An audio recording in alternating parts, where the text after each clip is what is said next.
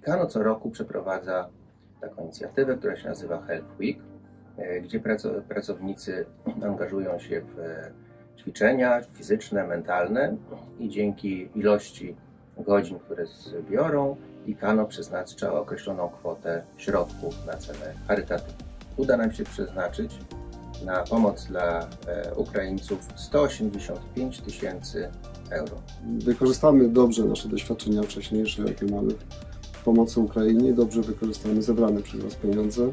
Myślę, że wspólnie uratujemy wiele ludzkich żyć i, i, będziemy kupować nową karetkę i nowy y, y, samochód do transportu. Wiele szpitali otrzymało od nas pomoc, w związku z tym bądźcie pewni, że zrobiliście ogromnie pożyteczną rzecz. Za to Wam bardzo i bardzo dziękujemy w imieniu swoim i naszych ukraińskich y, przyjaciół. Jest, jest super. Wiemy, że przekazujemy te środki w dobre ręce. Na pewno. Wszystkiego dobrego.